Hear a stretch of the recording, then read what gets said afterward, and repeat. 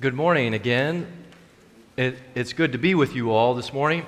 Uh, bef- uh, you know, as a guest, you're never quite sure how a congregation works, you know, the kind of the culture of the congregation.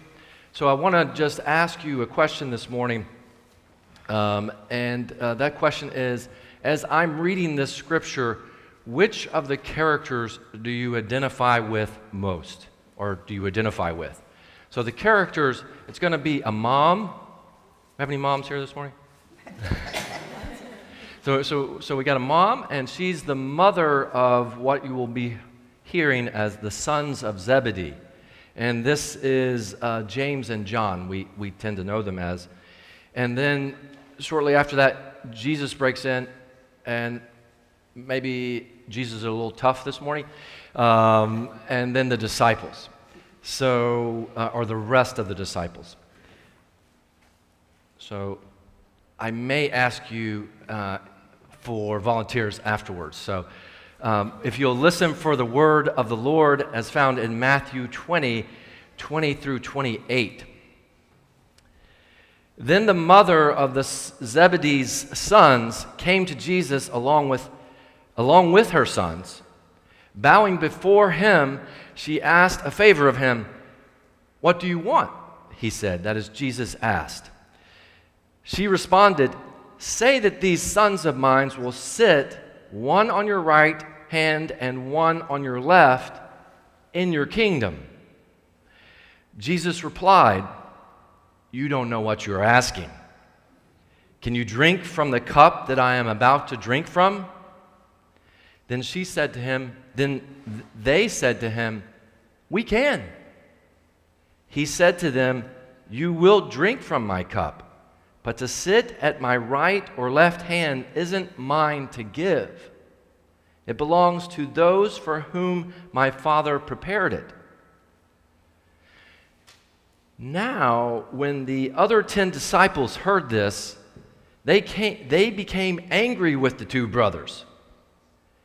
But Jesus called them over and said, You know that those who rule the Gentiles show off their, show off their authority over them and their high ranking officials order them about. But that's not the way it will be with you. Whoever wants to be great among you will be your servant. Whoever wants to be first among you will be your slave. Just as the Son of Man didn't come to be served, but rather to serve and give his life to liberate many people. This is the word of the Lord. So, any volunteers? Who do you identify with? Who, who resonates? You say, oh, yeah, that's me. Okay, you got me. Well, um, if, it were, if it were an animal question, I might get some responses, maybe. For me, it's, it's, um, it's got to be the disciples, right? The angry disciples um, I tend to think I know better than to ask to be first in line, you know, to be sitting in power with Jesus. That doesn't seem like my place. But if someone else gets the idea about bossing me around, I'm right with the disciples. You know, what are they doing? In today's lesson, the disciples see themselves, it turns out, as competing with one another, right? Who gets to be in power with Jesus. That is, they're competing with other followers of Jesus for positions of power. To see, in other words, who can be the greatest of all time. Are you guys familiar with this expression, greatest of all time? It became popular a while back. GOAT, you know, is it Coach K, the greatest coach of all time? Is LeBron the greatest? You get the idea. Um, it seems odd, though, doesn't it, on a more serious note, that faith itself can become a source of tension, rivalry. My own sense is that today in our world, there's not so much rivalry among Christians. Now, I'm, I'm curious how you feel about this. But that's my sense. And instead, the competition that people feel tends to be with other religions and people of other religions. Now, how this happens, you know, isn't exactly clear. I'm not here to talk about how that happens, but it seems in our world today, we see Christians, some Christians can become suspicious or even resentful of other people of faith. Now, I'm sure this isn't news to you because you recall the stories from this past summer and before of a series of attacks on religious communities, right? There have been attacks at churches, mosques, synagogues. Just a couple of hours from here in Pittsburgh, there was the attack at the Tree of Life Synagogue, you'll remember.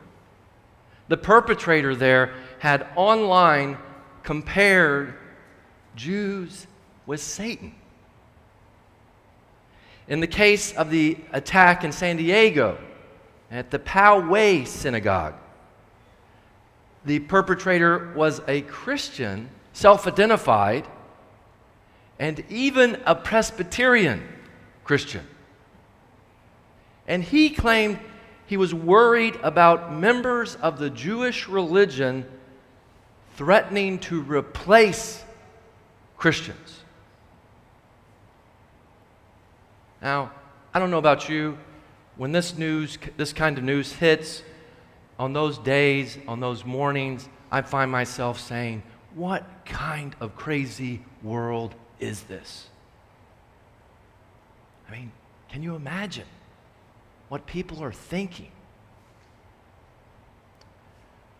But for me, I think today, this scripture asks, what does it mean to be a follower of Jesus in this kind of world? What does it look like to be faithful in such a world? Now, our society, I think, is going to give us at least two different messages. One message that we sometimes hear is be wary. It's a scary world. There are strange religions out there. Keep your distance. Another message goes something like this In a diverse world, it is important to respect our differences and tolerate one another. Now, to be honest, I'd much rather see folks be respectful than wary. That's just my, you know, kind of bias. I'd rather live in a respectful world than a wary one. But today, Jesus, I think, comes to me, and it dawns on me that both wariness and kind of respect, they can both keep a healthy or safe distance from the other. I respect you, just you stay over there.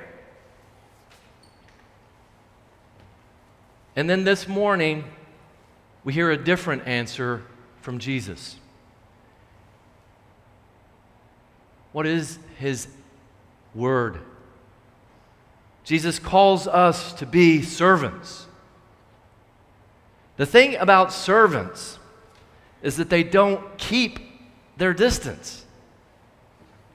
To serve others, we've got to get close to them. We've got to be willing to spend time with them and to give of ourselves. Now, if that's not hard enough in this kind of world, Jesus doesn't call us to do a little bit of service now and then, as if faith were a part time job. No, He calls us to a life of service. A life of service. That is, He calls us to give our lives serving others. That's here at church, at home, in our work, everywhere we go everything we do, everyone we meet, all the time. All the time. In an age, friends, of religious resentment and violence, Christ calls the church to do what? Be servants! To be servants. What? That, that's a hard word. Might it be that God is calling us this morning to be servants, even or perhaps especially to people of other faiths, people of different worldviews? Could it be? What might this even look like? Well, to be honest, I'm not sure. I'm not sure. But I don't think the form of service is our biggest challenge. I really don't. You're creative people, you got a lot going on here. You're going to have 400 people coming by here in any day now. Right? You got two service, you got you got a lot going on here. My biggest challenge anyway is that to be frank, I'm wary of giving up control. Rather than be a servant, I'd prefer to keep a safe distance and to do things my own way. You know, all that relational stuff. Hmm. Sure, I might be willing to do a little service now and then, but nothing so bold as to be a servant. That's my story. At least until I hear Jesus calling to me. Whoever wants to be great among you will be your servant. Whoever wants to be first among you will be your slave.